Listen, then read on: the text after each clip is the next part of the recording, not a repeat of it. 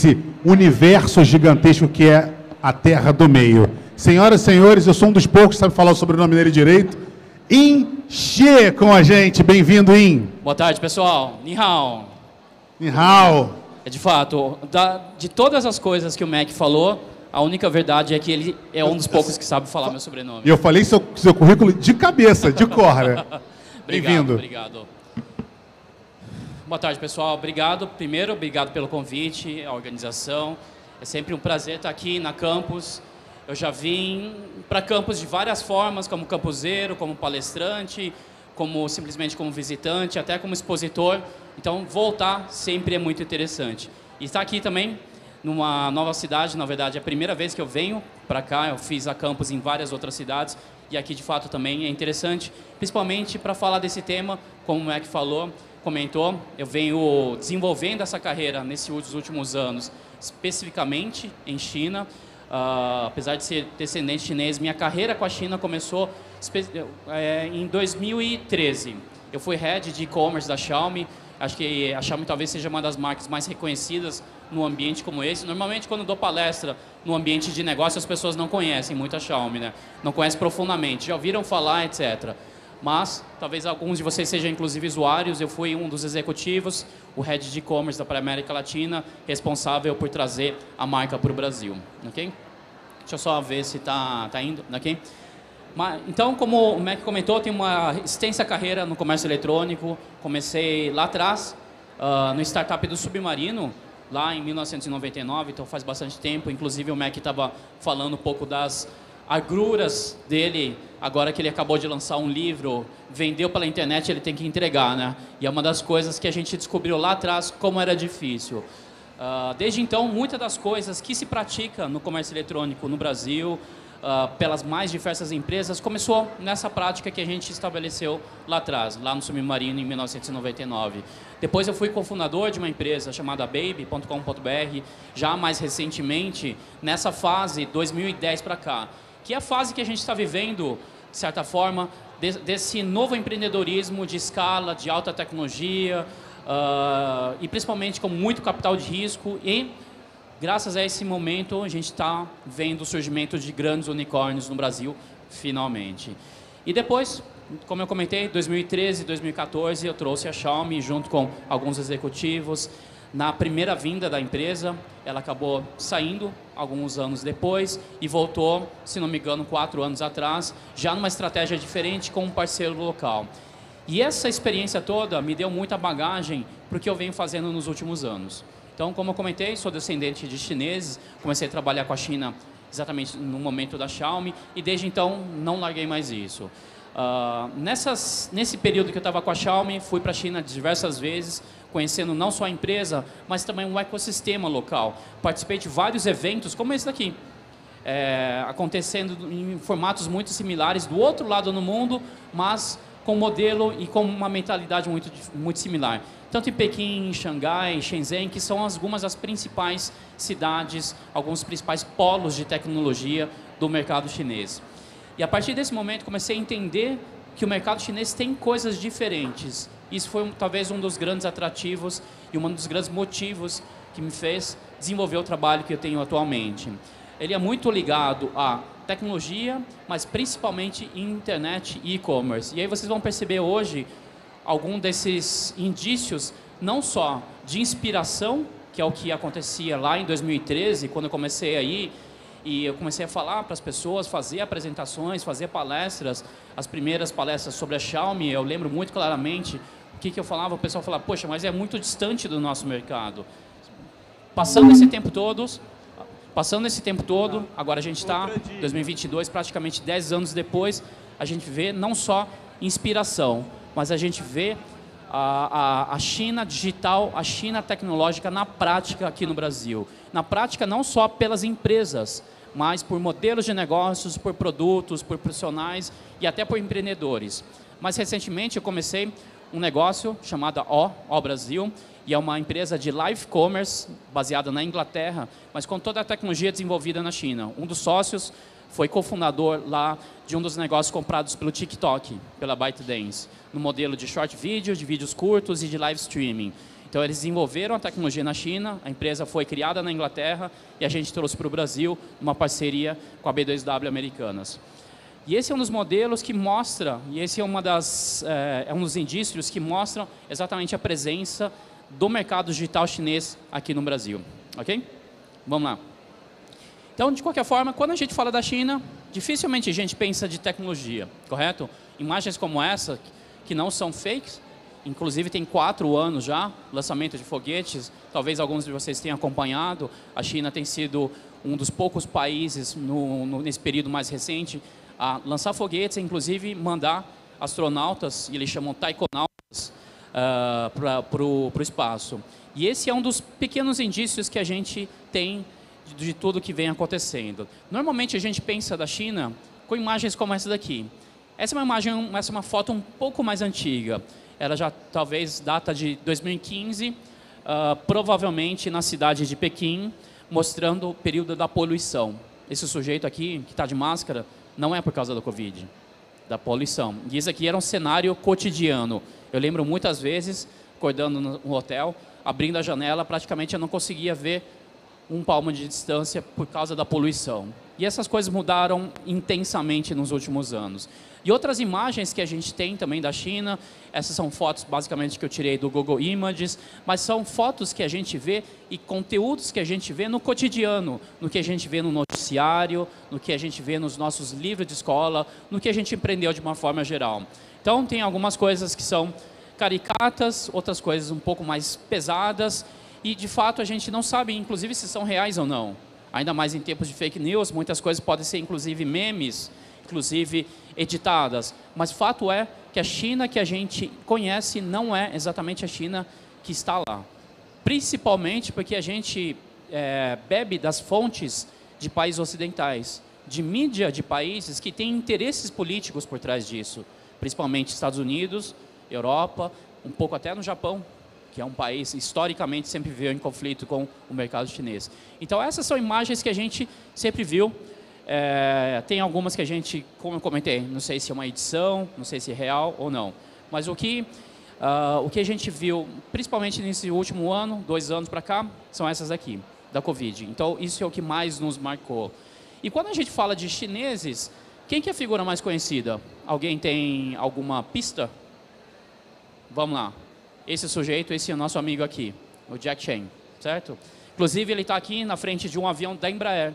Não sei se vocês sabem, durante muitos anos ele foi garoto propaganda da Embraer na Ásia. Ele tem dois aviões e ele veio para o Brasil para buscar os aviões. E ele começou a ficar mais conhecido recentemente por outro assunto, por outro aspecto. Opa, vamos lá? Aqui. Por a participação dele junto com uma empresa de tecnologia, uma empresa de e-commerce. Não sei se todo mundo já teve a oportunidade de comprar a Shopee uma empresa que no Brasil está cerca de dois anos e meio, usou muito a imagem dele para se alavancar. Uma empresa que eu vou falar um pouco mais daqui a pouco também. Mas a gente tem outro Jack, outro Jack que talvez seja a principal inspiração do mercado de tecnologia e o mercado empreendedor, que é esse daqui. Fundador, o cofundador do grupo Alibaba, um dos caras mais ricos não só da China, mas do mundo. O... Agora, atualmente, ele não é mais, CEO, mas ele foi por muitos anos, enfim, a grande referência do mercado de tecnologia chinês. Mas eu costumo brincar que ele foi só até 2019, porque 2020 veio não só a pandemia, mas inclusive um pouco antes, veio esse sujeito aqui, o Colin Huan. Certamente poucos de vocês devem ter ouvido falar. Eu ouso dizer que aqui dentro do evento talvez duas ou três pessoas. Mas a empresa que ele criou trouxe um dos maiores impactos no mercado chinês na verdade, no mercado global de comércio eletrônico. É uma empresa que foi criada em 2015, fez IPO, abriu capital em dois anos. No ano retrasado, tornou-se a terceira maior base de usuários de e-commerce na China. E atualmente é um dos caras mais ricos, inclusive durante um período ele desbancou a fortuna do Jack, do Jack Ma, tornando-se um dos mais ricos da China. E ele é um cara que na época tinha 40 anos, tinha 42 anos. É como se cinco ou seis anos atrás eu chegasse para o Mac, para o Edson, falasse assim, Mac, eu vou criar uma empresa de comércio eletrônico que daqui a cinco anos vai ser maior do que o Ponto Frio vai ser maior do que o Magazine Luiza em cinco anos. Esse cara fez isso. E esse cara fez isso, e não só esse cara, como muitos caras no mercado chinês conseguem fazer isso. Porque o mercado, não só pelo tamanho, mas pelo dinamismo e pela agressividade do mercado. Vocês vão entender um pouquinho mais por quê. De qualquer forma, os Estados Unidos ainda é referência. Se a gente andar por esse evento, por, o, por vários eventos de tecnologia, sempre a gente vai ver as referências. Pelo próprio nome, Campus Party, já é um evento, o nome em inglês. Todos os conceitos vêm do mercado americano. Mas é interessante vocês perceberem, eu já venho falando, já dei algumas pistas de nomes, o quanto as empresas chinesas de tecnologia já estão enraizadas no Brasil. Algum de vocês não sabia que a TikTok é uma empresa chinesa? Provavelmente todo mundo. Porque a gente está aqui e está numa bolha. A gente está numa bolha de pessoas que estão inseridas no dia a dia. Mas poucos, de fato, fora do mercado sabem. E no fundo não interessa, não faz muita diferença. Mas fato é que o TikTok atualmente é uma das maiores empresas do mundo, é o maior unicórnio no, no ranking número um em valor, ou seja, aquelas empresas de capital privado antes de abrir, fazer o IPO, e ainda é conhecida como o aplicativo das dancinhas. Quem aqui usa já sabe que não é da dancinhas. Faz muito tempo que eu uso intensamente o TikTok, a dancinha talvez seja uma das poucas coisas que eu já não vejo mais.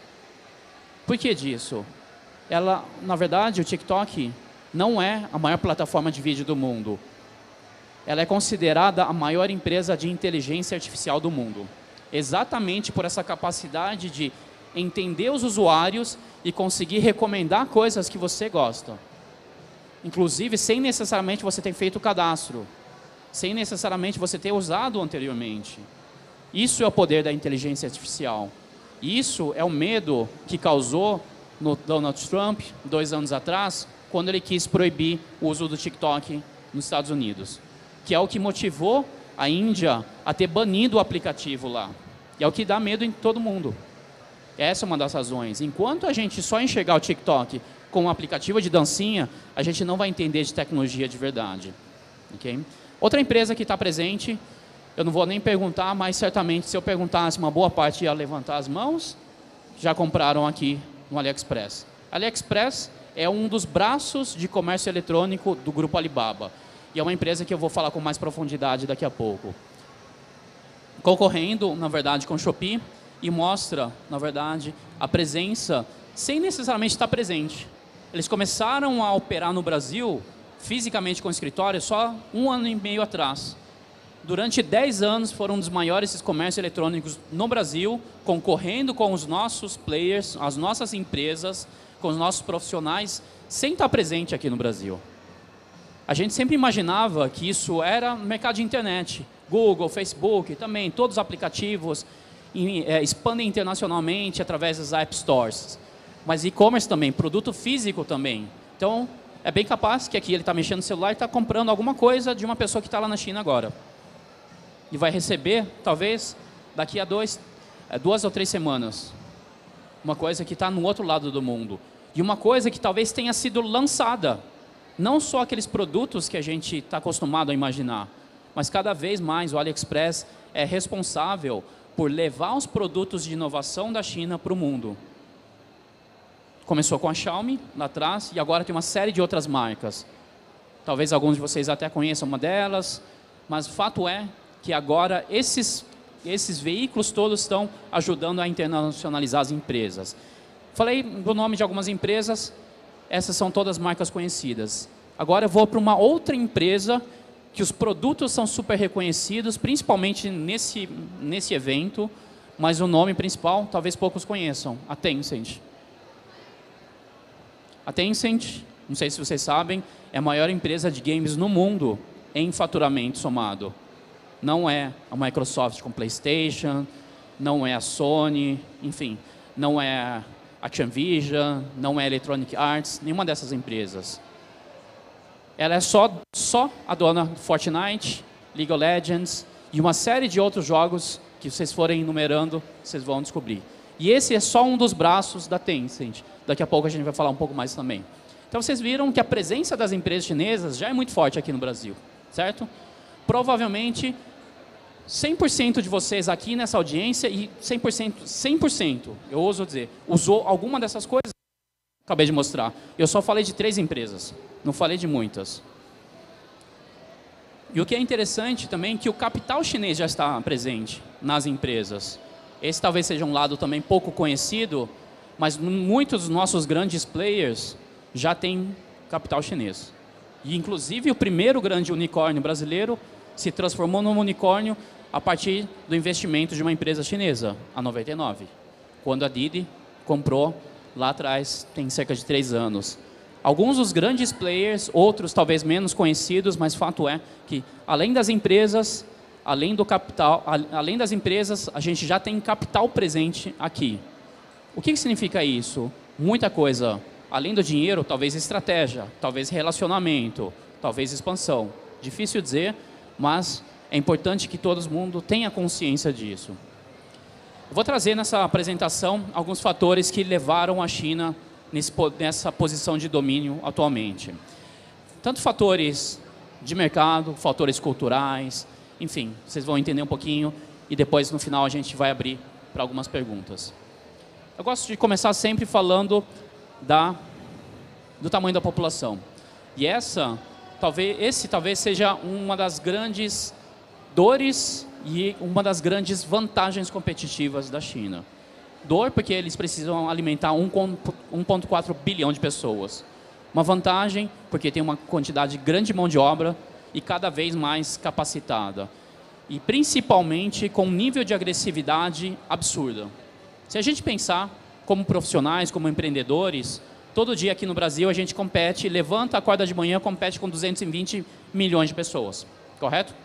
Com o nosso vizinho, com o nosso colega, com o nosso primo, enfim, não importa. Todos os dias os chineses têm que ser melhor que 1,4 bilhão de pessoas, cada um deles.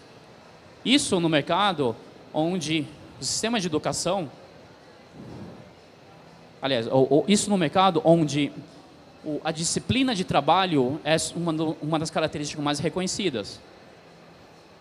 Uma cultura, por exemplo, chamada 996, 996. Trabalhada às 9 horas da manhã, às 9 horas da noite, seis dias por semana. Isso é sustentável? Não importa. É o que eles estão fazendo. É o que eles estão fazendo agora. Competindo com a gente, competindo comigo, competindo com você. Nesse negócio. Se é justo, se é sustentável, é outra discussão. No nível de, de, de educação, não só em qualidade, vocês, muitos de vocês devem ter visto, é, Xangai é a cidade no mundo com maior, melhor avaliação dos estudantes de ensino médio, mas também nos cursos principais ligados à inovação, ciência, tecnologia, matemática e estatística, numa quantidade e num volume maior do que todos os países somados. O que, que significa isso? Mais gente para desenvolver tecnologia, para programar, para fazer isso que todo mundo está aqui está fazendo, numa quantidade absurda e mais do que todo o resto. A gente sempre imaginava da Índia, né? Nossa referência sempre foi a Índia. A Índia, na década de 90 até no início dos anos 2000, era referência de outsourcing, de terceirização, né? Eu tinha necessidade de um programa, mandava lá para os indianos, eles programavam. Uma diferença fundamental. Os indianos, eles recebem o que o que vem no script. Aqui os chineses estão desenvolvendo produtos novos inovando. A gente teve agora há pouco uma palestra sobre Open Innovation, muito nessa visão. E o resultado são, são situações como essa. E é interessante observar que isso daqui não é um negócio recente, não é uma informação recente. O que, que significa isso daqui? Isso aqui é o tempo que as empresas chinesas e os seus pares americanos levaram para atingir mais de 50% do mercado doméstico. 50% do, seu próprio, do mercado do seu país. Ou seja, a Amazon levou 14 anos para ter mais de 50% do mercado de e-commerce nos Estados Unidos. O Taobao, que é do grupo Alibaba, levou 9 anos. Apple Pay nunca chegou a essa posição e nunca chegará. A gente sabe muito bem disso. O Alipay em 4 anos. WhatsApp e o Chat, cada um desses é o tempo que as empresas levaram para atingir. E a gente está falando de uma situação desde os anos 2000, desde o início do, do ano 2000. Não é alguma coisa que vem acontecendo só na pandemia. Muitas das coisas a gente vai falando, poxa, a pandemia acelerou, a pandemia isso, a pandemia aquilo. Algumas coisas vêm acontecendo já bem antes. Resultado para as empresas. Opa. É isso daqui. Não só para as empresas, para os empreendedores. O tempo médio que os unicórnios chineses levaram para atingir esse status comparado com os unicórnios americanos. Quase metade do tempo. Quase metade do tempo, quatro anos. Aqui no Brasil, a gente está falando em torno de sete anos também, um tempo muito parecido com o mercado americano. Sustentado por uma classe média punjante, uma classe média que consome produtos não só locais, mas principalmente produtos, ou cada vez mais produtos internacionais de alto padrão. O mercado chinês, a China já é o maior mercado de produtos de luxo há muitos anos. A gente sempre olhava para o Japão, para a Europa e até para os Estados Unidos. Já há muitos anos, marcas como essas aqui, Louis Vuitton, têm o seu maior mercado na China. E durante a pandemia, muitas dessas marcas sobreviveram por causa dos consumidores chineses. E aqui talvez seja um dos pontos que nos aproximam mais dos chineses, os brasileiros dos chineses, que chamam de salto de tecnologia. O que, que significa isso na prática, pessoal? Significa, ao invés do mercado adotar a próxima tecnologia, teve um salto para a seguinte. E eu vou dar um exemplo prático disso. Não sei se vocês lembram, a maior parte aqui eu vejo que são muito jovens. Quando começou a internet no Brasil, internet comercial, a internet estava via desktop, via computador de mesa, estava disponível nas empresas. A maior parte das pessoas que tinham acesso como usuários domésticos era de alta renda. A internet no Brasil começou a se popularizar com o celular. Celulares mais baratos, Wi-Fi, 3G, 4G depois, virou um fenômeno popular. O que significa isso? Aliás, como que se deu isso na prática? Mais de 80% dos usuários de internet no Brasil nunca usaram internet num computador fixo. Existe uma expressão no mercado de tecnologia chamado mobile first. Ou seja, vou priorizar é, o acesso via mobile, via celular. Eles não são mobile first, são mobile only. São pessoas que não têm acesso, então para ele não importa o que é um site, para desktop. O que importa para ele é uma experiência no aplicativo. É uma experiência no site, no aplicativo, uma tela pequena. Ou no iPad, no tablet, mas não no desktop. Então existia um salto. Da mesma coisa aconteceu no mercado chinês. Um salto da tecnologia. Não foi desktop, foi direto para o mobile. No setor de varejo. Enriquecimento da classe média, final dos anos 90, início dos anos 2000, saltando direto para e-commerce. As pessoas não tinham fidelidade às lojas físicas. Sistema bancário, a mesma coisa. Acontecendo, é, os usuários, as pessoas começando a enriquecer. Isso eu vi pessoalmente várias vezes, indo numa loja de carros, tirando dinheiro, cash, para comprar um carro, para comprar uma, um, um eletrodoméstico, em dinheiro porque eles não tinham uma intensa utilização de sistemas bancários. Guardava dinheiro em casa. Quando começou a bancarizar, a classe média enriquecer, querendo consumir mais, não é conveniente ficar levando dinheiro para todo lado. Preciso de um meio de pagamento. Começaram a usar os, o, o, as contas de bancos. Os bancos não atendiam muito bem os consumidores, usuários finais. Estavam acostumados a atender empresas saltaram direto para fintechs, que agora a gente está vendo esse movimento no Brasil também. E por isso que eu digo que é muito similar. Não pela cultura, óbvio, a gente está falando de um país na Ásia, mas pela maturidade do usuário, pelo momento do usuário, é muito similar. Ok? Disponibilidade de capital, a gente sabe o quanto, o mercado está me mostrando alguma coisa que eu não enxergo.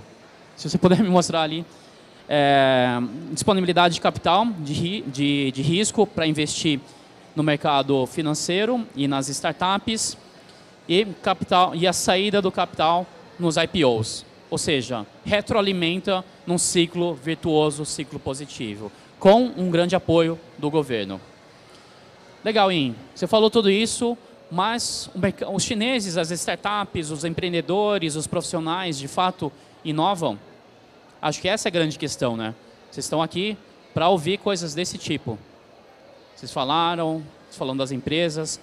A gente sempre gosta de falar que os chineses foram uma das a China, a civilização chinesa, opa, de umas que mais teve papel relevante no início da história humana, com grandes invenções. Pólvora, bússola, papel, imprensa. E uma curiosidade para vocês, esse é um bônus. Futebol, as primeiras modalidades de futebol foram inventadas pelos chineses, lá atrás. Jogando com a bola, a bola era, na verdade, a cabeça dos inimigos. Se vocês forem no site da FIFA, tem é, o registro. Pena que eles não treinaram, né? A gente vê como a China é péssima no futebol. Mas, vindo para mais recentemente, qual que é a visão atual do, da China com relação à inovação? E é bem diferente do que a gente está acostumado no Ocidente. Vamos lá. Estou um pouco de dificuldade nesse apresentado. Eu acho que... Ah, ok. Quando a gente fala de inovação, normalmente, sempre carrega junto a palavra tecnologia. Parece que sempre tem que ter tecnologia para basear, para fazer uma transformação. Quando a gente olha para o mercado chinês, quando a gente entende a mentalidade deles, é muito mais transformação digital. Não é só tecnologia. Pode ser modelo de negócio, pode ser estratégia. Tecnologia, principalmente quando a gente olha para os casos, e aqui estou trazendo um exemplo bem prático disso, quando os Estados Unidos começou a desenvolver meios de pagamento digitais, começaram a fazer NFC, ou seja, você tinha que ter o celular ponta de ponta, um mais caro, etc.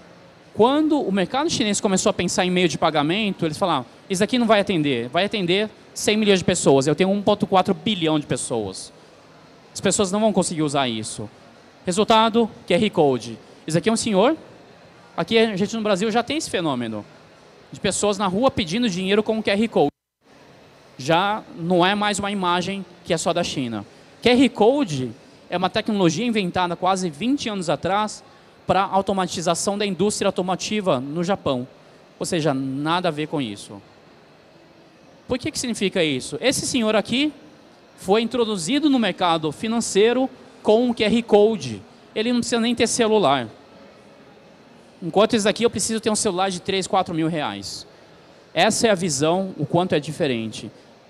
Eu não preciso necessariamente inovar tecnologicamente. A visão dos americanos e o Ocidente de uma forma geral, e nossa aqui, eu vou transformar o mundo, eu vou salvar a humanidade. Aqui eu vou resolver um problema. Eu vou atender um, uma certa faixa da população, que por sorte deles tem mais de 1,4 bilhão de pessoas. E outro exemplo muito prático. Elon Musk, Tesla, marca de desejo, todo mundo quer. Quem que de fato vai conseguir comprar isso? Vai ficar na tela do celular, do computador, no wallpaper, da maioria de nós. Mesmo na China, onde é mais barato, 40 mil dólares. Tem uma fábrica enorme, cada vez construindo mais fábricas. A Tesla e o Elon Musk são as grandes inspirações. Óbvio que isso é fundamental. Só que a popularização dos carros elétricos vão vir de marcas como essa. Que marca que é essa daqui? Não sei e não importa. O importante não é a marca, é o conceito que está por trás.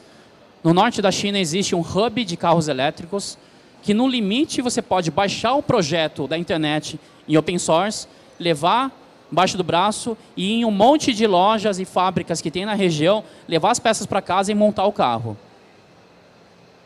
Isso transformou-se numa indústria, existem centenas de empresas fabricando carros elétricos de mil dólares, que atendem pessoas como essa daqui.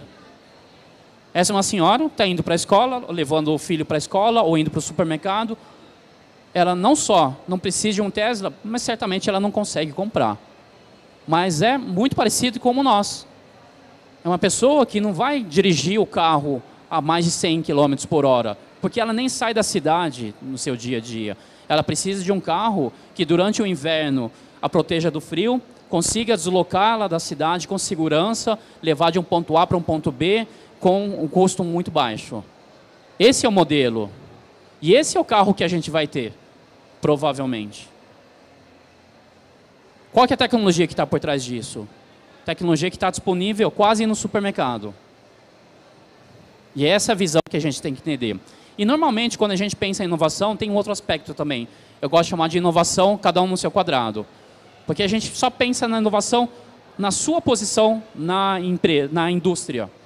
Então, a gente acabou de falar da indústria automotiva, mas eu vou pegar uma que vai, vocês vão entender muito claramente. Ah, o setor de varejo, as lojas, o comércio de uma forma geral. Quando o comércio começou a inovar, todo mundo pensou em comércio eletrônico. Comércio eletrônico é a inovação na experiência do usuário, na ponta do usuário final. O que acontecia antes na distribuição, na fabricação, não importa para o varejista. E nada disso mudou. Cada um deles só ficava pensando na sua posição. Como a indústria está na China atualmente, a visão que eles vêm fazendo, vêm adotando, além de ser aquela da transformação digital, é da transformação da cadeia como um todo. Então, aquele produto que chegou na mão dos consumidores, não só chegou pelo comércio eletrônico, mas provavelmente teve uma alteração muito grande na cadeia de fabricação também, na cadeia de distribuição também. E lá no finalzinho da apresentação eu vou mostrar alguns casos bem interessantes como esse. E, essa, e, e outro setor que, que ilustra também bastante isso, setor de meio de pagamento. Como eu comentei, o QR Code. O que, que é o resultado do QR Code na prática, pessoal? São números como esses. E, de novo, eu estou trazendo números antigos. Não é um número super fresco. 2016, o mercado chinês já gerou 9 trilhões de dólares em pagamento via celular. 9 trilhões de dólares. Versus 112 bilhões nos Estados Unidos. 2020, 166 vezes a mais. E aqui vocês podem ver, essa luzinha não sei se está funcionando bem. Aqui são as duas bandeiras de pagamento, o Alipay e o WeChat Pay, pagamento via celular. Só no pagamento via celular, essas duas empresas são 10 vezes maiores em volume do que a Visa e a Mastercard somada no mundo todo. Só as duas empresas na China em celular. QR Code, pessoal. Lembre-se bem disso. E aqui vocês vão entender um pouquinho o porquê disso. Vou passar rapidamente nesse slide, porque ele é um pouco mais chato, mas para vocês entenderem que, de novo, a inovação não acontece só no seu próprio negócio, no seu modelo. WeChat e Alipay, eu vou falar um pouco daqui a pouco melhor, eles são um monte de outras coisas além de meio de pagamento. E isso ajudou, de fato, a grande transformação no mercado chinês. Qual que é o resultado disso na prática para o país? Um gráfico como esse daqui. Em 2017, o Boston Consulting Group, uma das maiores consultorias globais de inovação, ou de gestão, já mostrava que a China é a, tinha a segunda maior economia com a penetração do digital. Segunda maior em 2017. De novo, a gente não está falando de efeitos da pandemia, muito antes disso. O Brasil não está nem tão mal dentro, porque está entre os 10 maiores. Estados Unidos, entre os 5 maiores. Aqui em 2021, esse número chega a mais de 25%. Ou seja, um quarto da economia chinesa vai, vem, advém da economia digital. Da economia que essas pessoas aqui estão fazendo. Que nós estamos fazendo nesse mercado em setores específicos como o de varejo. Eu gosto muito de citar de varejo, obviamente, porque é o meu setor e eu conheço muito mais, mas acho que fica mais tangível para vocês também. Antes da pandemia, cerca de um quarto dos negócios via de varejo, ou seja, comércio, eram via internet. De quatro compras das pessoas físicas, uma era de internet. E na internet mundial, mais de 60% era feito na China. No início da pandemia, o resultado foi 50, mais de 50%. Ou seja, metade, mais da metade das compras das pessoas era pela internet. Aqui, certamente, é um viés, de novo, é uma bolha. É possível que muitos de vocês já façam isso. Mas imaginem isso extrapolado para a população inteira. Para um país de 1,4 bilhão de pessoas. Muito em função dessa empresa aqui. Certamente vocês já ouviram, viram memes do, do Jack Ma, viram histórias do Alibaba, viram aquele meme falando que uh, Uber não tem carro, uh, Airbnb não tem imóvel e Alibaba não tem estoque. Ok, o que, que significa isso na prática? E que o Alibaba é a Amazon chinesa. Ela é muito mais do que isso e, na verdade, ela nem é igual à Amazon. E um fator importante, não é só porque estão em países diferentes, em mercados diferentes, uma estratégia muito diferente. A Amazon é o que eu gosto de chamar de modelo de império. Ela chega no mercado e chuta a porta. Não sei se vocês lembram, alguns anos atrás, no Brasil, uh, quando a Amazon começou a expandir, por de cinco anos atrás, as ações na Bolsa de Valores do Magazine Luiza, da Renner, começaram a despencar. Todo mundo com medo. Quando o Alibaba entra no mercado, a visão é de colaboração. As empresas sabem que vem um player para colaborar e ajudar todo mundo a desenvolver esse mercado. Muito diferente. Um ecossistema e um modelo de império. E o modelo de ecossistema, e o resultado disso na prática. Isso aqui é o volume de vendas, não é o faturamento, ok? Volume de vendas dessas empresas. Alibaba, em 2020, 1,170 é, trilhões. Amazon, 269 bilhões. Quase cinco vezes mais. Vocês lembram aquele rapaz, aquele nosso amigo lá, o Colin, que eu falei logo no início da apresentação? A empresa dele é essa terceira aqui. Ou seja, aquela empresa que tem seis anos, está quase em número, em volume de vendas, no volume da Amazon. Então aquela comparação que eu fiz, que era só na China, ela extrapola internacionalmente. Daqui talvez alguns anos ele vai ser tão grande quanto a Amazon. Uma empresa foi criada há 6, 7 anos atrás, versus a Amazon criada em 93, 1993. E dentro do conceito, e eu quero apresentar isso para vocês rapidamente, porque talvez seja o mais importante para vocês entenderem hoje, nessa visão que a gente chama de ecossistema.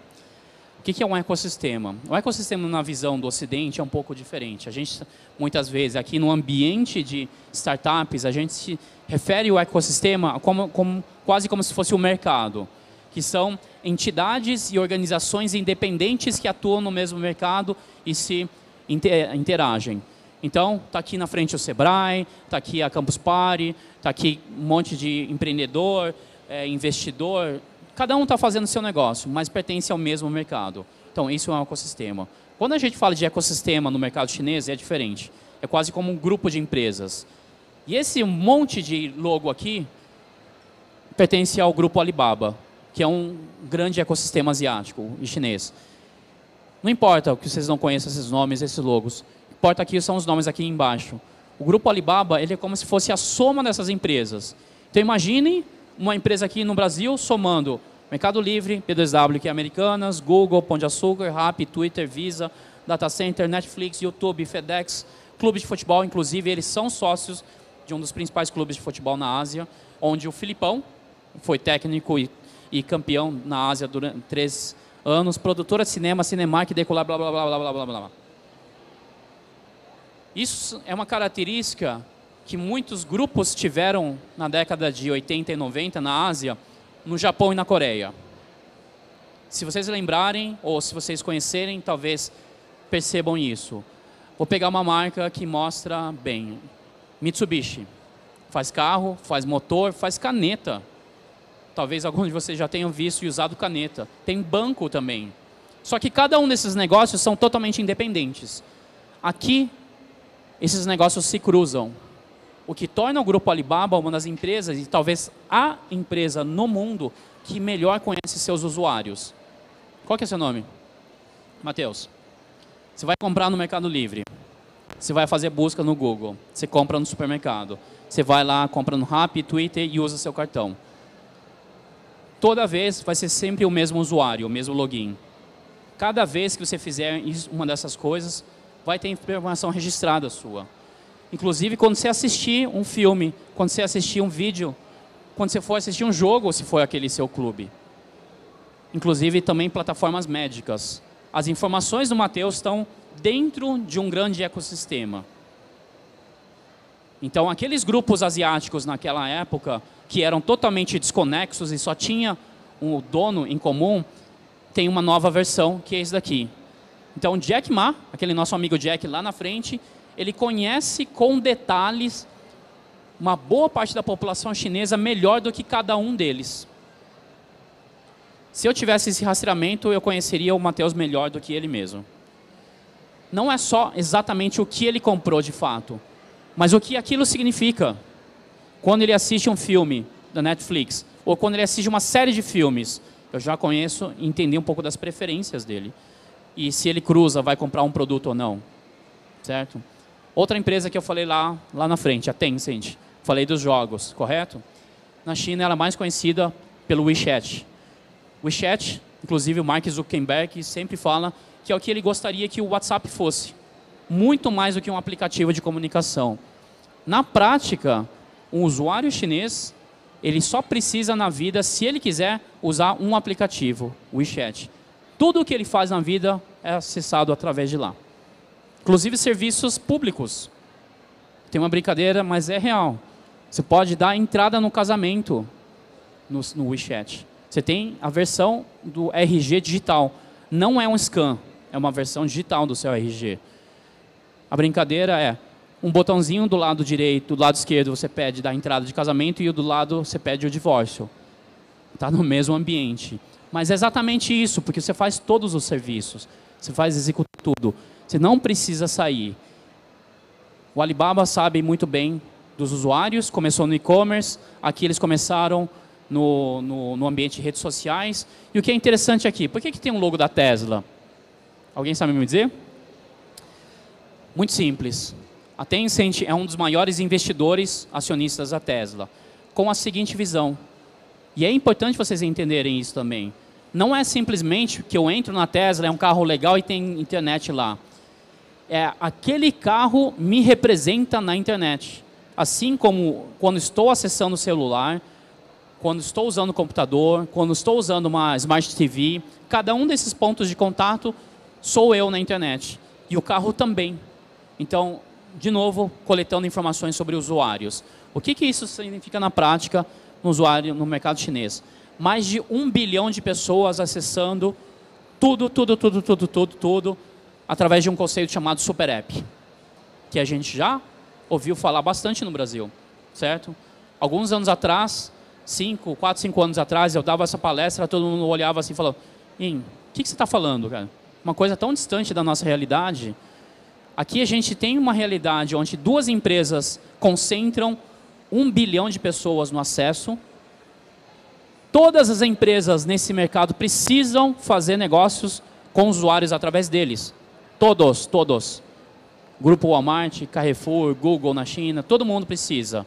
E o que, que é a realidade nossa por que, que eu estou falando disso aqui para vocês? Cinco anos atrás eu dava essa palestra, todo mundo ficava olhando. Obrigado, hein? Agora, vocês vão ver a relevância disso. Eu comecei minha palestra falando, o mercado chinês, além dessas outras coisas todas que eu falei no início, a presença das empresas é inspiração direta no modelo.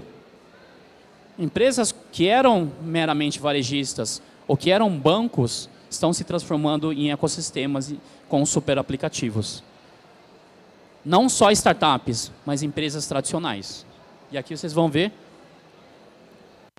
de fato, na prática isso. O que era um meio de pagamento, o mercado pago, você paga até batata frita. O que era um negócio que era, surgiu como um banco digital, é um dos maiores e-commerce. Isso aqui alguns anos atrás, a gente ia achar muito estranho. Mas se eu perguntar para vocês, provavelmente muitos que foram, que são usuários do Banco Inter, eu sou usuário do Banco Inter, já fiz compra no site deles. RAP, entrega de produtos que tem conteúdo. uma empresa de e-commerce tem supermercado, não só digital, mas físico. Isso aqui é uma rede de supermercados que tem no sul e sudeste. E também, principalmente, Magalu, que era sempre eletroeletrônicos, vendendo molho de tomate. O que, que é isso? Essa conexão e integração toda. Não só produtos, mas no marketplace e num grande ecossistema. Conteúdo faz parte disso. Vocês lembram aquele gráfico que eu mostrei aquela hora? Aqui?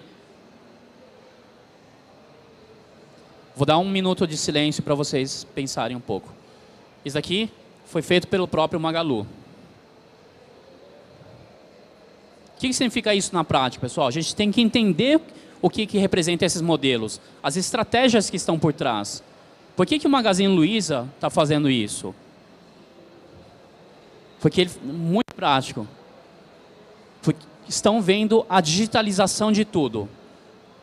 Eu sou e-commerce, eu não só o Alibaba não compete só comigo. Ele quer digitalizar o varejo inteiro.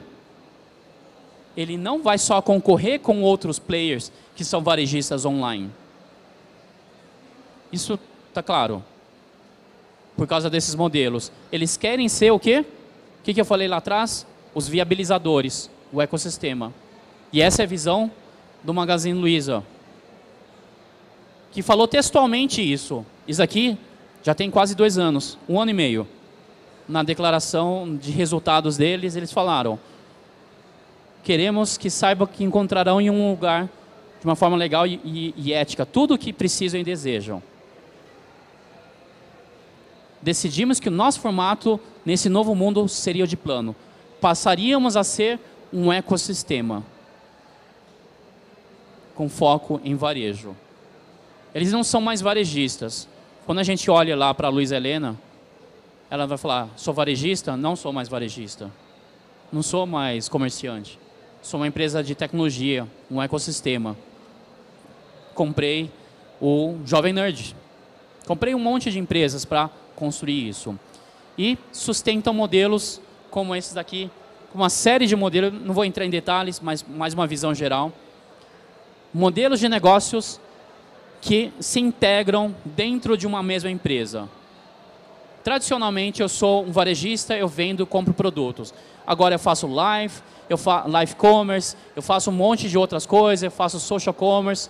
E eu tenho um modelo de negócio, me posicionamento como uma empresa de tecnologia. Não sou mais varejista, não sou retailer. Eu sou uma nova, um novo bicho dentro disso. E aqui a gente tem o modelo e os possíveis pares dessas empresas no Ocidente. E alguns modelos não têm, inclusive. E algumas empresas são super recentes, como a Facili.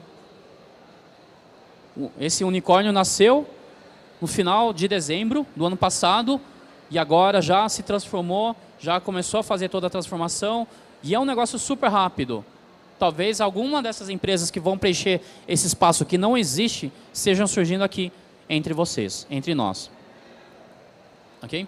Então, uh, só passando, eu acho que eu tenho ainda alguns poucos minutos, eu vou passar por vários exemplos rapidamente. Supermercados conectados. E esse aqui talvez seja um dos exemplos. Supermercados conectando, concorrendo com restaurante, delivery.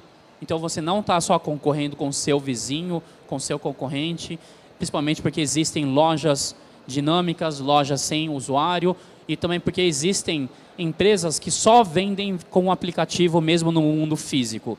Imaginem vocês indo lá na praça de alimentação aqui do lado, com dinheiro ou com cartão de crédito, o cara fala, não, você tem que comprar com o aplicativo.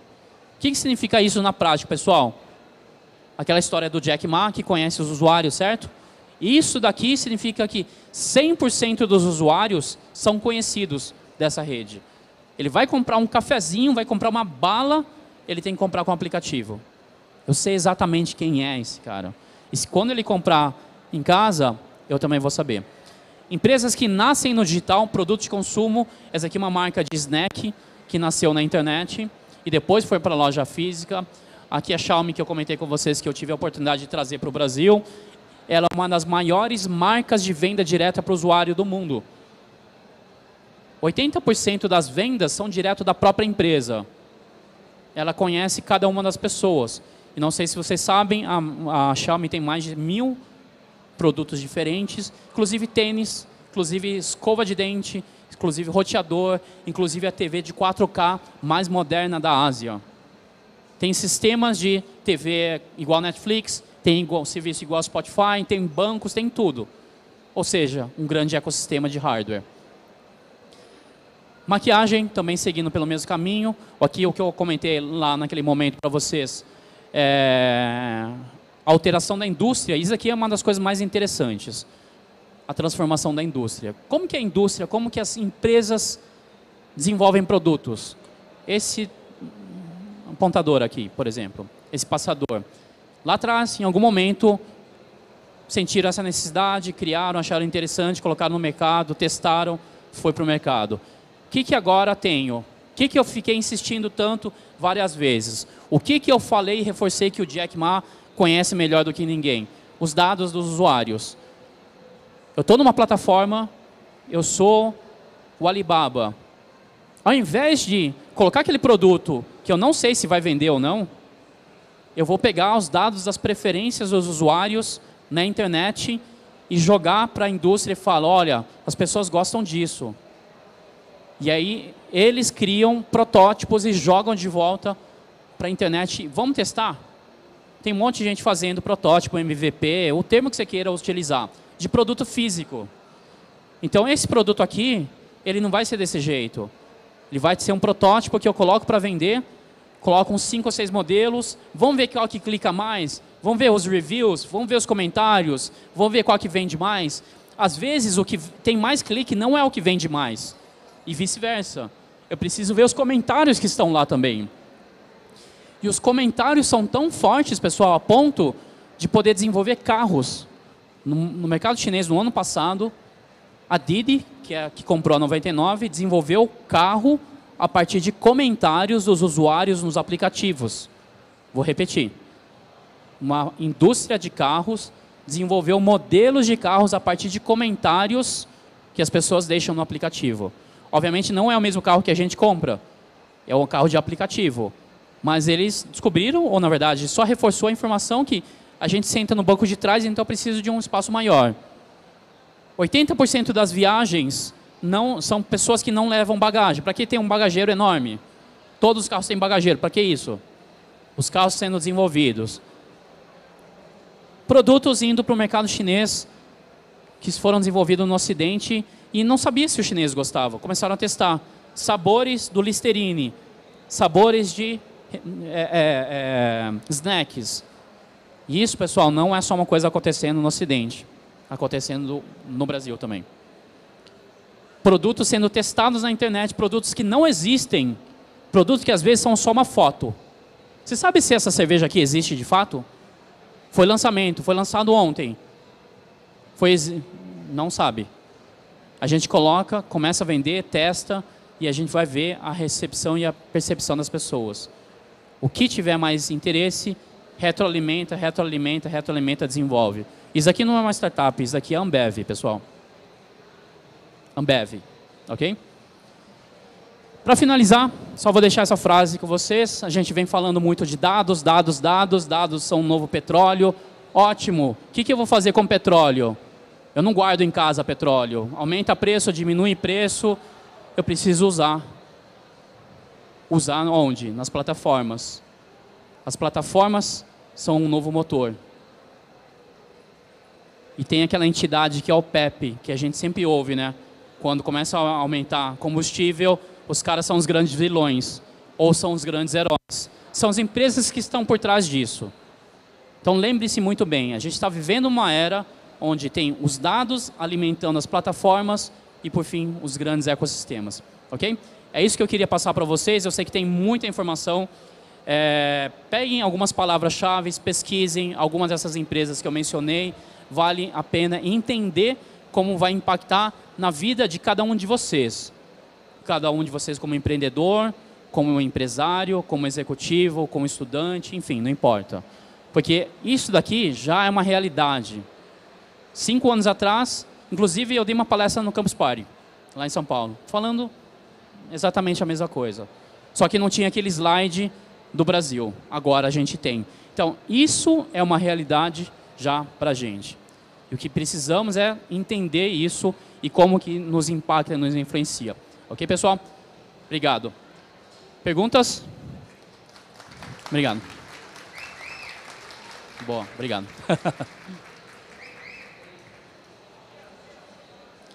Comentários, perguntas? Aonde? Ô, Dado, tudo bem? Ah, finalmente presencial agora. Tudo jóia? Ok, eu vou estar à disposição de vocês. Redes sociais também, me, me procurem. É, Inxie, tem um bilhão de chineses, mas Inxie certamente sou eu. LinkedIn, é, WhatsApp, uh, TikTok, Quai, qualquer uma das redes sociais estou disponível também, ok? E amanhã eu vou estar de novo às duas horas num palco que eu não sei exatamente qual é, mas procurem as informações pela internet. Obrigado, pessoal. Boa tarde.